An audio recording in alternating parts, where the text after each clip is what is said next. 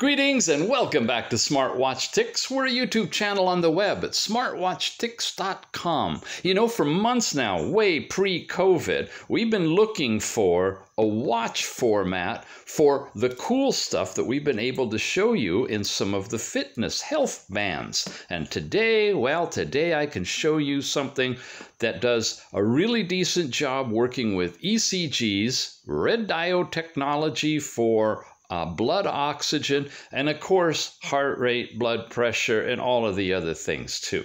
It's called the W3, comes to us from Banggood. It's a Bakeey product, ECG plus HRV, heart rate variability, for doing your blood pressure, blood oxygen, and so forth. At a decent price too. A lot of folks prefer the watch format to the band format, so we're going to check out what this puppy can do.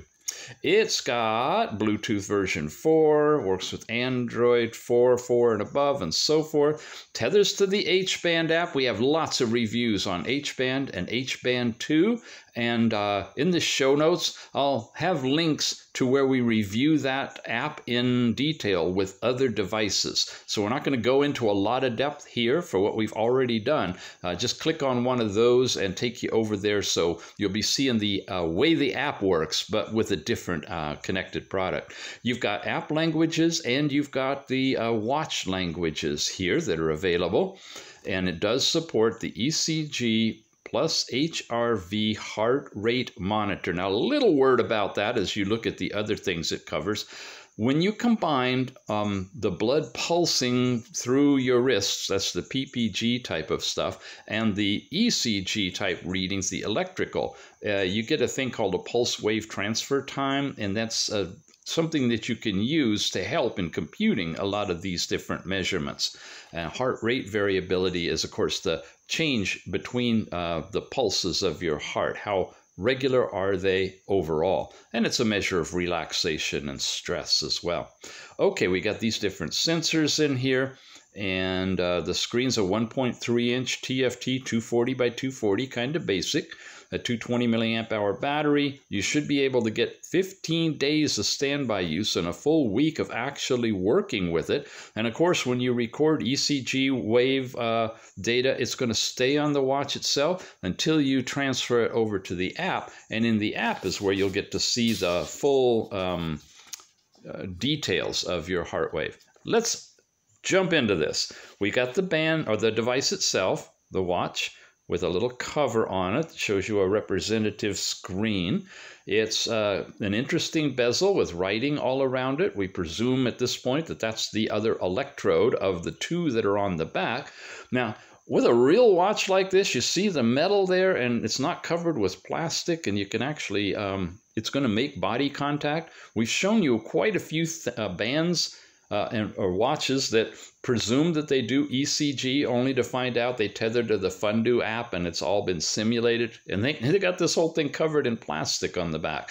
Not so here. And even if it was, you'd want to remove it. Uh, definitely metal plates. We've got diodes in here, some of which are red, some are green. The charging port, one button that's going to cycle you through everything. And obviously, removable bands that they uh, give you here that are rubberized and uh, nice grooves on the back side, red stitching with black, so a bit of a sporty look and a dressy look as well. We'll put that together.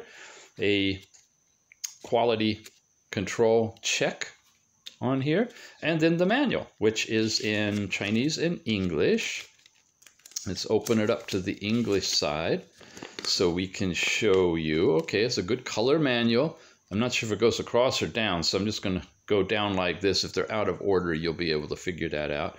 Tells you about it, powering on and off and charging it, the app functions and instructions it's getting into. So it looks like the app is down here, so it's probably going across the top. Anyway, here are um, ways that you can do the blood pressure.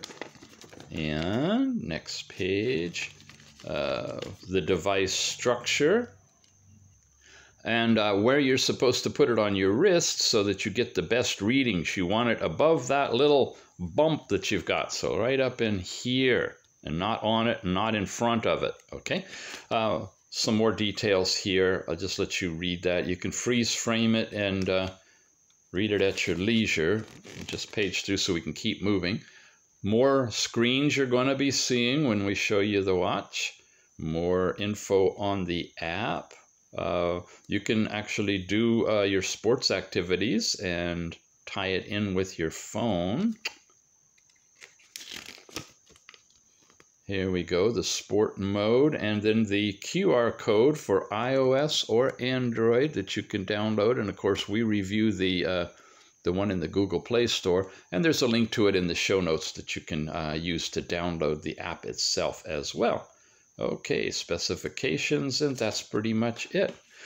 I'll put it together, charge it up, and we'll keep moving. There. Oh, silly me. I didn't show you the uh, rest of the box. Inside here, we have the charger. And what kind have we got? Looks like a regular two-pin magnetic style. Yep. there we go. And how is it? Okay, yeah, it can actually hold the watch. Uh, so, yeah, should be simple, easy charger, and it should stay in place when you're charging it. USB connector. Okay.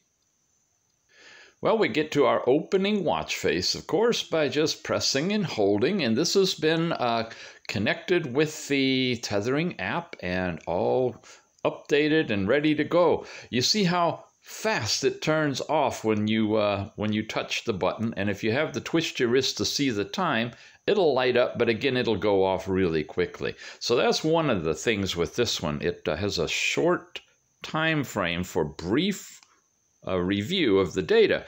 Until you touch the screen then you can um, leave it you, you, can adjust it in the app to stay on as oh i don't know three seconds to 30 seconds i think see if i do that now I'm into a longer on time. well, maybe I gotta keep moving. Ah, okay.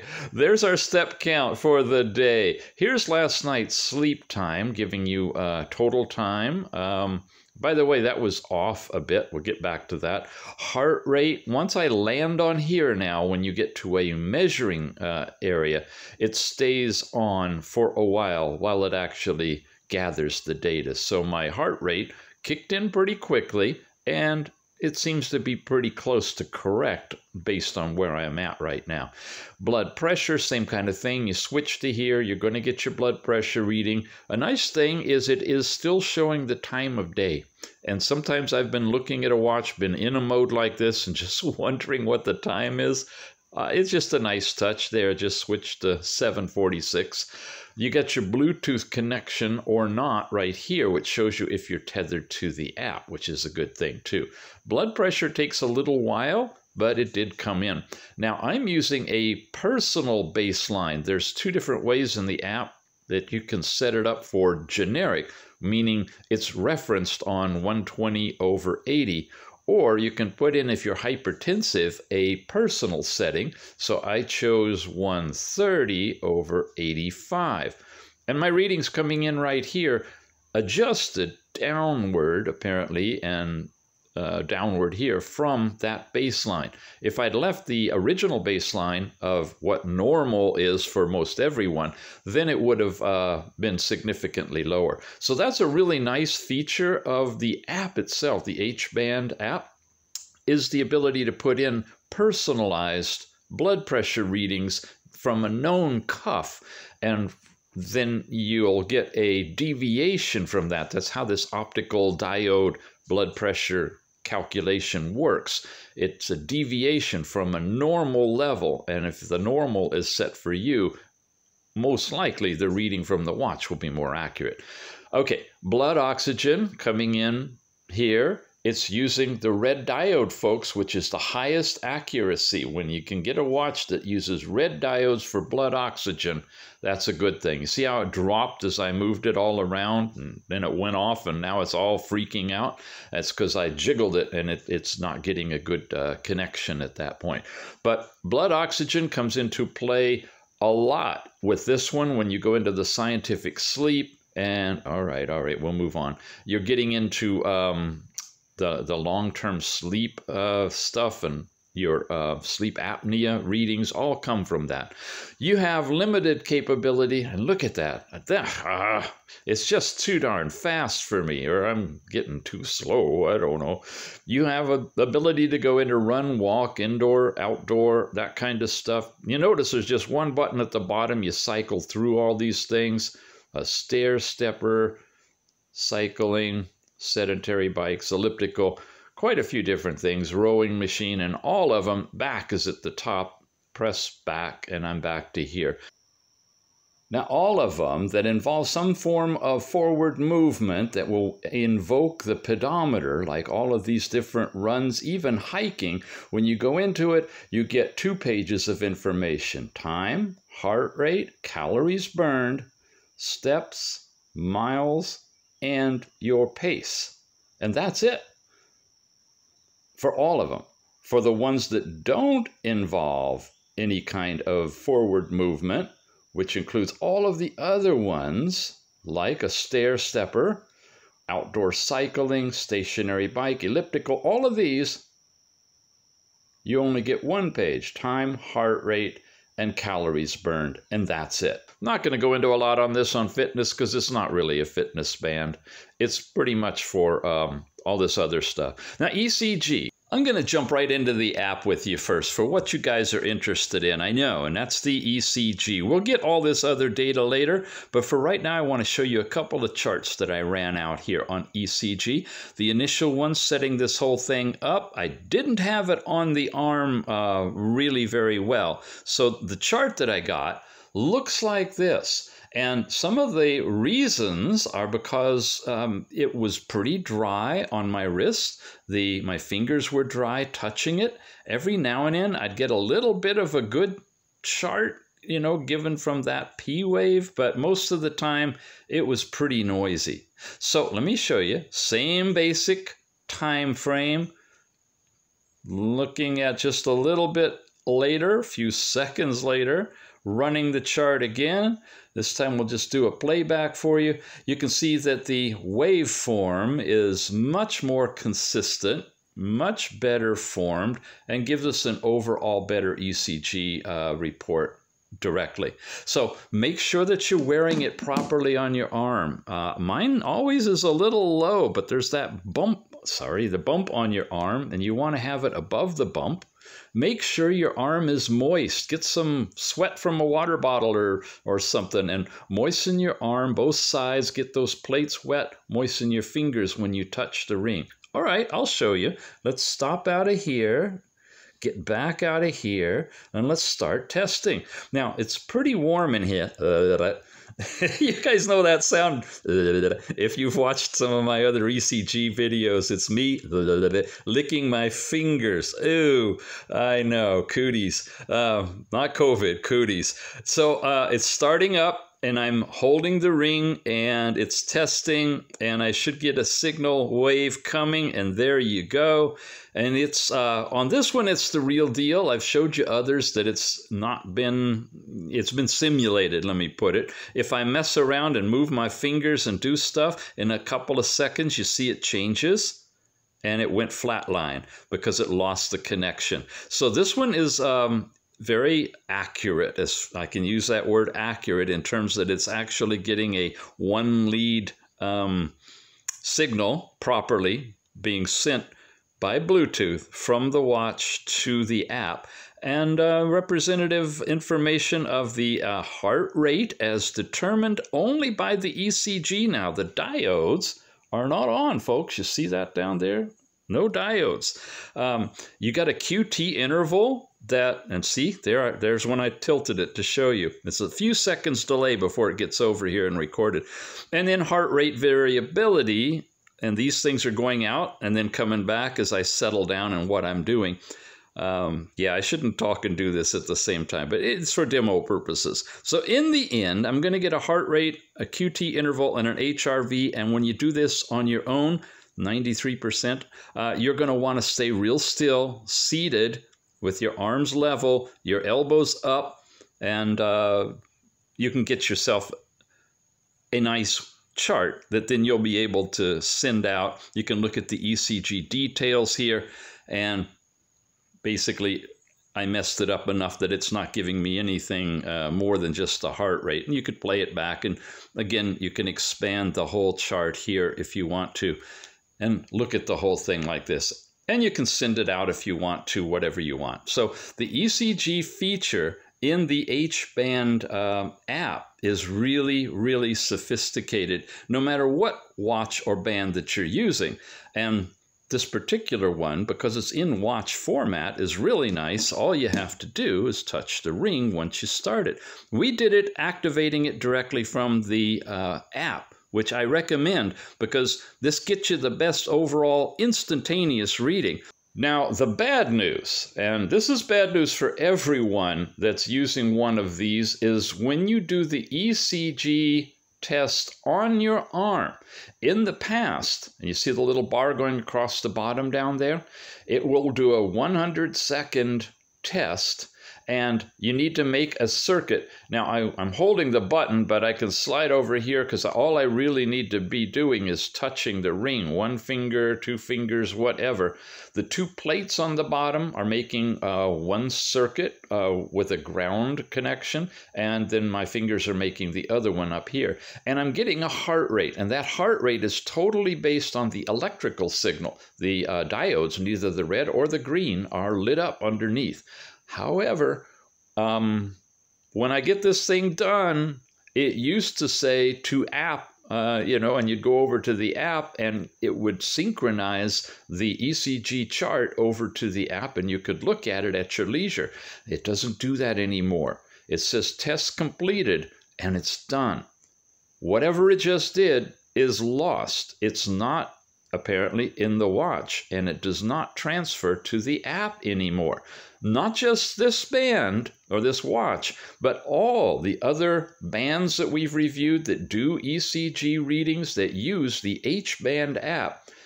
Check it out. With the updated app, it will no longer transfer the ECG report to the uh, to the phone, which is a big setback if you planned on um, doing uh, ECGs remotely. Um, okay, no messages. That was my message section, long press. I had a few in there. I was going to show you some, but I don't have anything. Anyway, it shows you your messages in writing on the screen. Uh, back to the ECG, it really means that the only way you're going to be able to do your ECG report is tethered to the phone and starting it from the phone. You have a stopwatch countdown there's your notifications we just looked at already. Find your phone when you're tethered. And overall brightness adjust for uh, here. And notice I'm on 0, 1, the lowest setting. You can go all the way up to 12, and it's seriously bright. I only need it on 1. Eh, make it 3, I guess, for the video here. But, you know, a good range for, uh, for that. Auto lock, I'm not sure what that does. I haven't really tried it. I think it locks the screen, so you have to use the button over here. Switch, when you tap on here, gets you uh, into all this stuff your alarms, uh, whether you're disconnected or not, your sedentary monitoring. These are toggle switches. There's your turn your wrist to see the time. These are all set in the app, but you can also turn them on and off right here on the watch itself, which is really, really handy. Blood oxygen monitoring, your blood oxygen alarm, that's the uh, sleep apnea at night. And then it circles through again, all this stuff. And you can just hit the, uh, the back button, of course, to get out of here. And you could clear your data as well. So that's everything in the more section. And then you have power off and your basic stuff down here. Um, it's uh, Bluetooth information and whatnot. And then here are your watch faces. Uh, and I can't really uh, change the face. Oh, can I? Yes, I can. Okay, there you go. I keep forgetting which watch I'm on. There's another type of a face. Here's another one. There's a very large one. Now, these are just thumbnails, folks. I haven't brought them up full size. And that's the one that we were on. So let's take this one for a change. And there you go. You got your date, Bluetooth tethering, your step count, stuff like that. So you have a few. I don't think you can download any other ones, but uh, you've got those at least. All right, let's switch over and go deeper into the app now than just the ECG we took a look at. So even though we've reviewed the H-band app and the H-band 2 app quite a bit, I want to go through a little more again because it's been updated in a good way and a not so good way. First of all, there is no H Band 2 app anymore. There's just H Band, from what I can tell, going to the Google Play Store. Now, I really liked having H Band and H Band 2. There it's synchronizing again the data in the watch um, because they would work independently with each other, and I could have one device tethered to one and one to the other. Now, with only one app, you can't do that. Um, so we've lost the, the capability of having the same basic foundational app available in, uh, in two different versions. As a result, since HBand 2 has been pulled from the Google Play Store, I'm going to put a the latest version of it before it disappeared in the uh, smartwatch resource center that we've got. Remember the address? It's in the show notes at the very bottom of every video um, if you lose it tinyurl.com slash android watches. Okay go over there. There's a bunch of different apps that aren't in the play store anymore but are really cool like that slider for the brightness that's uh, in there.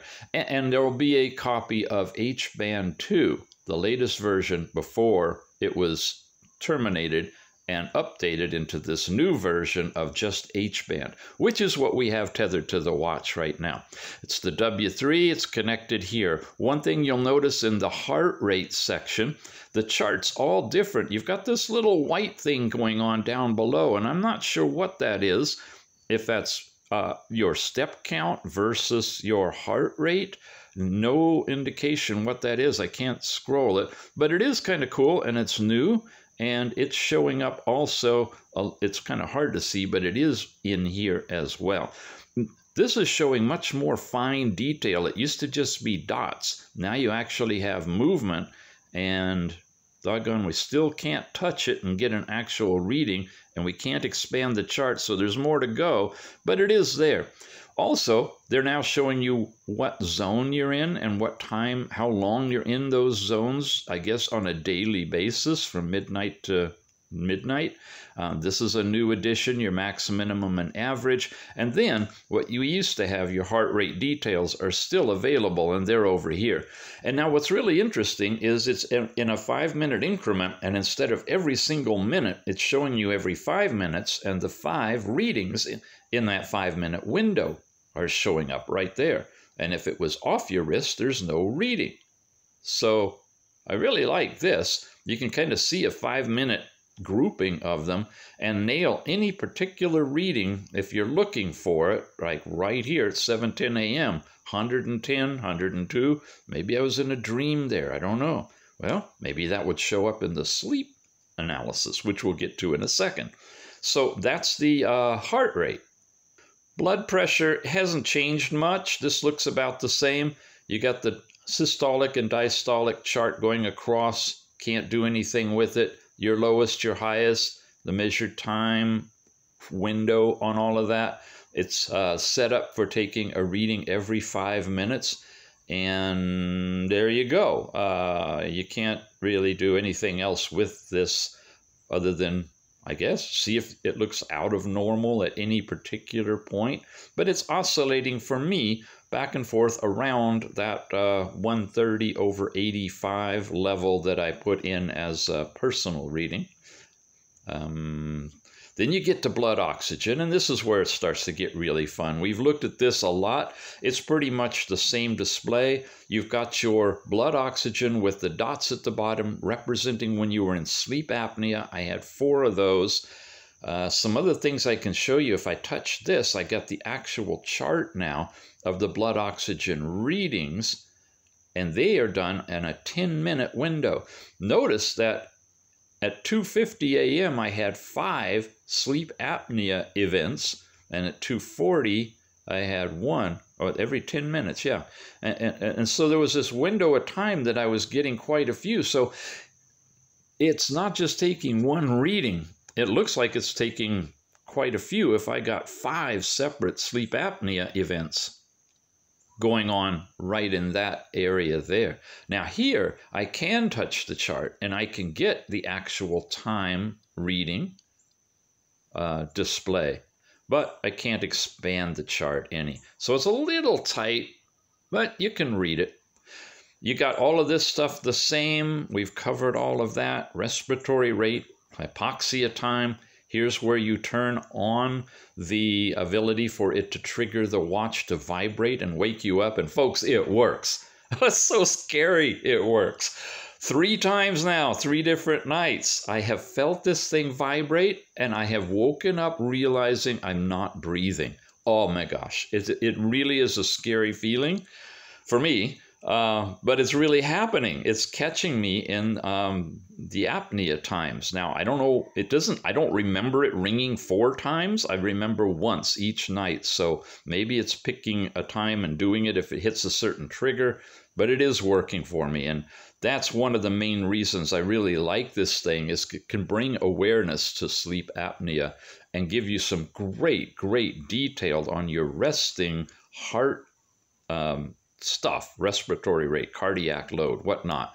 If nothing else to buy it for, uh, this would be a reason to have either this watch or one of the bands that do the same basic thing using the same basic um, app. But a lot of folks like a watch format. And so now we've got a really sweet watch format doing all of this.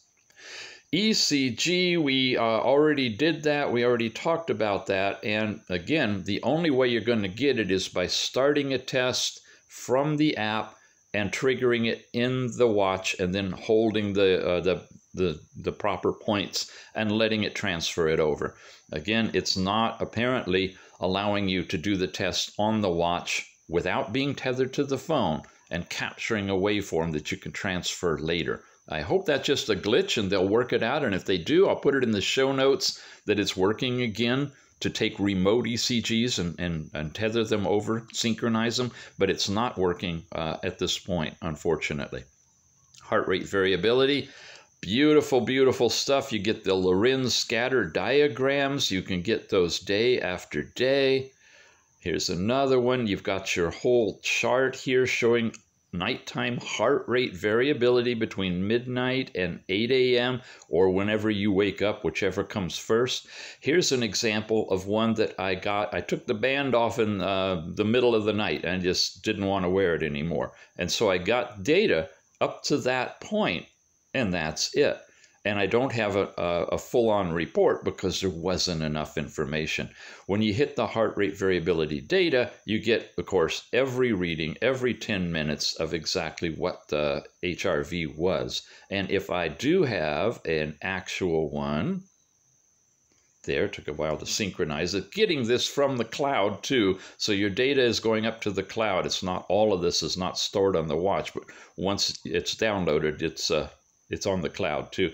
Now I get the report. So you have all these different things. Five stars is the best. The number of stars does change. You can assess the shape of the um, display of the diagram, which is what this is all about. You're getting a 2D plot of something related to your heart uh, condition. And you can see if it looks like this or if it looks like this. Like mine looks, I think, looks kind of like a rocket turned the other way, right? So it is kind of like a comet. And comet is what you want. That's your basic normal uh, uh, reading. But if you're getting other things regularly, like this rocket, it'll tell you a little bit about what that might mean not for you to self diagnose, because this is not a diagnosis tool, but to share with medical professionals, your doctor or cardiologist, uh, of what you're getting night after night after night. You know, one night is probably, it could be anything, but if you're seeing the same kind of pattern repeatedly um, that looks like any of these, then it's probably worthwhile to contact a medical professional and bring this information to their attention so they can then intervene and take you to the next level of um, awareness for your own uh, physical condition. Uh, so as you go through, you can touch each of these, learn about them, and this has been updated a bit and consolidated to make it like a little more compact. You get your overall heart health index on a daily basis, so you can look at that figure. Here I didn't get one because I didn't go all night. There. And I'm usually about 75 plus or minus a little bit in the normal. You fall below 60 and then you got to be uh, careful. Okay, calendar here, sure. You get dots on the days that it has some data so you can jump all around to any date that you want confirm that and it'll take you right to that chart. Well done app. Really, really well done app. Now sleep. Here's the last night's sleep information as uh, recorded by the app uh, from 3.30 a.m. to 5.48 a.m. That is not correct. I had a lot longer sleep last night. Um, so let's go to a day Okay, here's a better one to analyze. A little bit before midnight, up at about 6 a.m. I mean, right to the minute, though, is right there.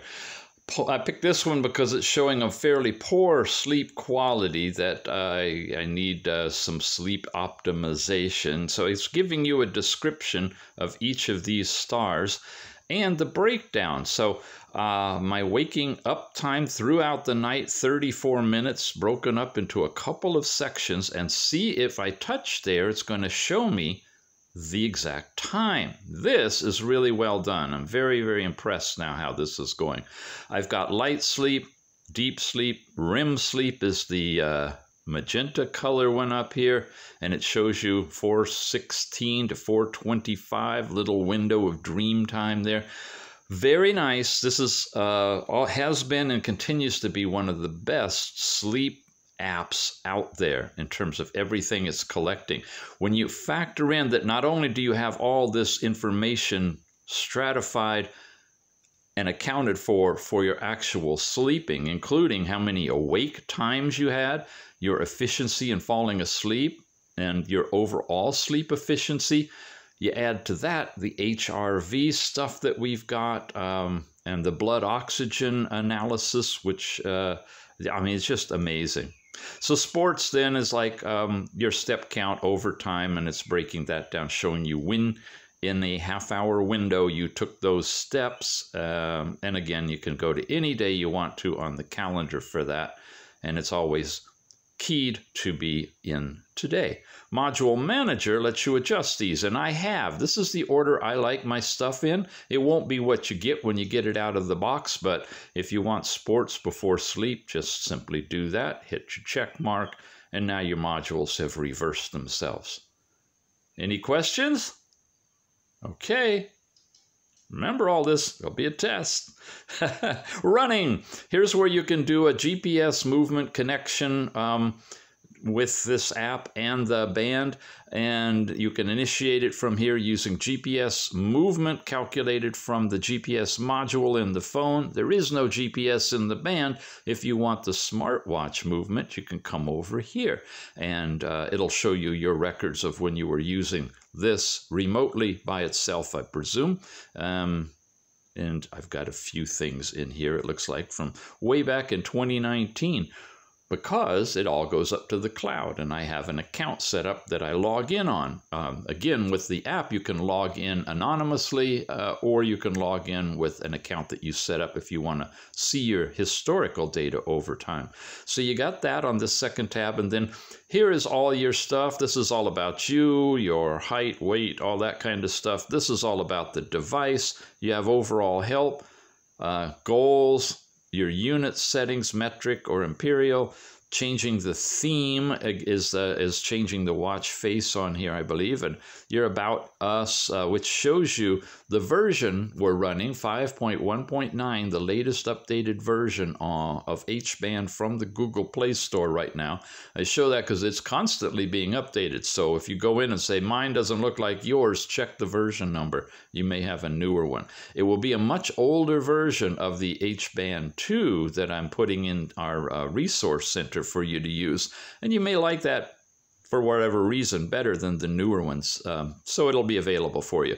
This watch and all of these watches and bands that run with H band work with either H band or H band 2. Both apps work. And we run as what you can connect to, not Strava, not Google Fit, uh, not Runtastic, but we run um, if you want to connect. And of course, you can log out from here. When you go in here, these are all the different things related to the band that you can set up your heart rate, turn your wrists, and you saw the triggers, the on off switches are in the watch as well. Here's that blood pressure private area that you can set up to tailor it to your own typical heart rate or blood pressure as measured by a cuff, then I highly encourage you to do that if you want to increase the likelihood of accuracy when you take the measurements with a, uh, a diode uh, style of, of reading. Um, low power mode. This will reduce all these different things uh, when the, the battery starts to run down on the watch to try to save it. There's your screen on time. You have from five seconds, they say, three seconds, all the way up to 30 seconds. I can confirm it, I can save it. And now theoretically, I'm going to see if it works. Once I get past there, it's supposed to now stay on for 30 seconds. Let's see while we're doing this. Uh, take a photo, countdown timer, all these things are kind of basic. Here's the firmware version. You can check for uh, updates and then you can clear the data. Look, it's working. Dang, I could I could have set that all. Yeah, I thought I had it on 30 seconds, but I had it on five, which is why it was timing out. Well, you know me, I'll talk as long as the watch is on, so I guess it was good that it was lower. That's it for there.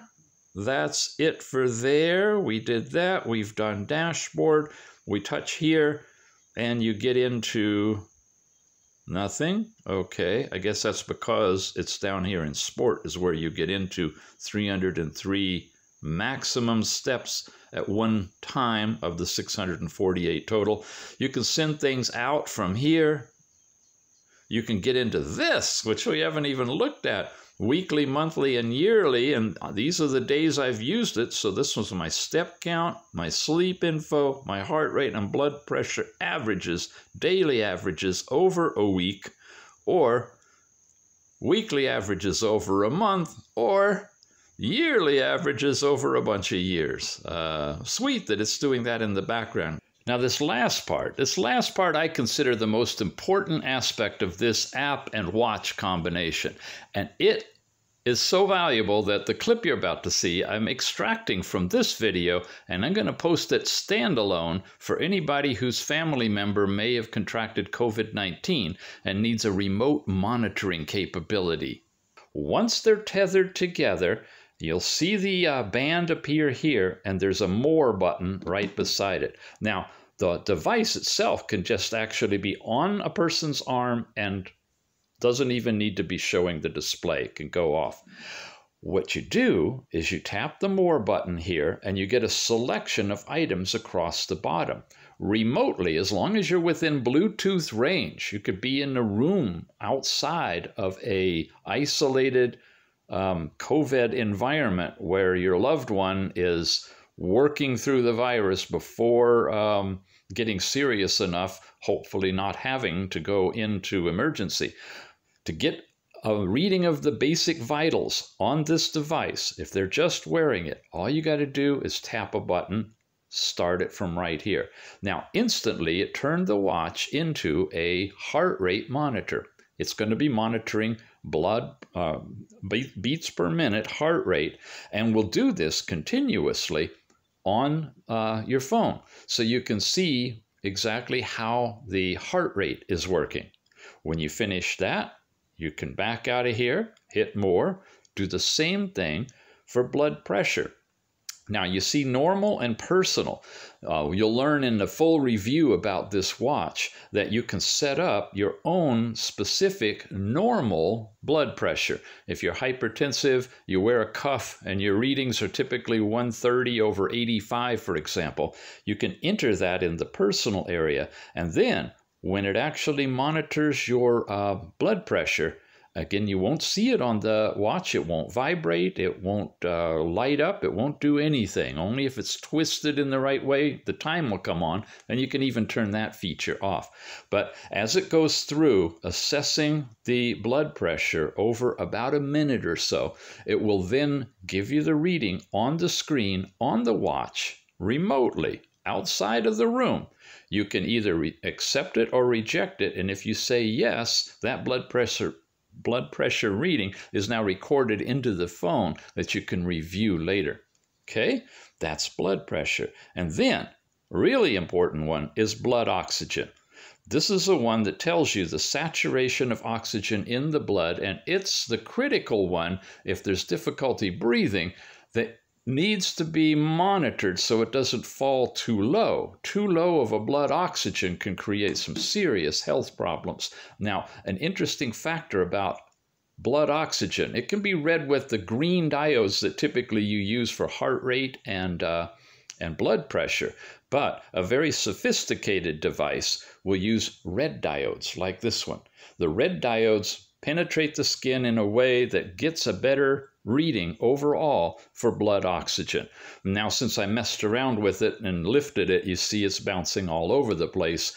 If I were quiet and still, this would normalize and come back to a, uh, a regular level that you're being able to monitor continuously on your phone or any phone, your old phone, use your phone for regular stuff and take last year's phone if you still got it, connect it up with this app. And you could just have this mounted on the wall outside the door if you wanted to, to the bedroom that has a person who's uh, working through the virus. All of that stuff is available. There's other things here. Uh, this is ECG, but it doesn't really, uh, you can try it, uh, but it requires the person to actually touch the ring during the testing in order to get an electrical signal for you to get a heart wave chart here. But it's something that you can also do on here. You just press the start button, you grab the ring, you make sure that the skin is moist, and in a moment you'll start to see a chart appear on here, remotely transmitted by Bluetooth, which is really, really cool. There you go.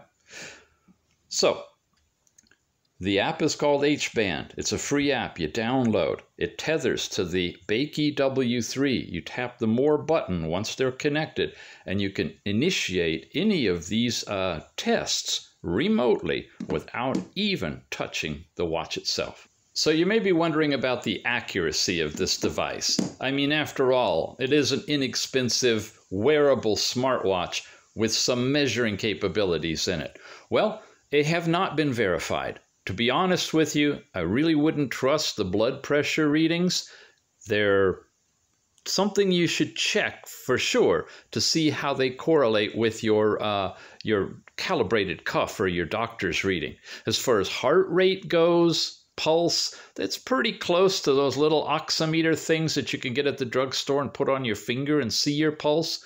The blood oxygen, have a pretty good feel about that one because it's using that red diode like I talked about. So monitor this but again, use it only for guidance, okay? It's just to give you a little bit of information, but don't trust it totally that it's accurate. Look at other factors to determine whether or not there's over-reporting or under-reporting by any of the measurements coming from this device. So accuracy is questionable, but it does provide you some metrics that may guide you to get more accurate measurements from a trained professional. And that's the updated H-band app. And um, Again, we've got a variety of different watch faces here. And as I allow it to sit on a particular one, it, uh, it, it will time out at the time that you put in it. And uh, this is the W3 band itself. It's got nice leather stitched with red uh, belt on it that's removable, changeable. I'm sorry I don't know the dimensions right now. It should be in the specs. I'm guessing 22 or maybe 20. Um, yeah, all in all, a really nice watch. And it's coming to us from Banggood. These guys are on top of it when it comes to health related uh, devices, watches, bands, and everything else, especially the ECG and the sleep apnea, the really advanced stuff. So I'm really, really happy to be working with Banggood, and uh, we'll continue doing that if you help us out too. If you like this one, please check the show notes for the, the buying link and pick it up using that link, and we'll try to get you a discount coupon if possible on, uh, on the unit as well. Well, extensive review today. A lot coming. Uh, there's a few more coming in uh, doing all this type of stuff and more. So uh, stay tuned, stay subscribed. We'll see you again soon.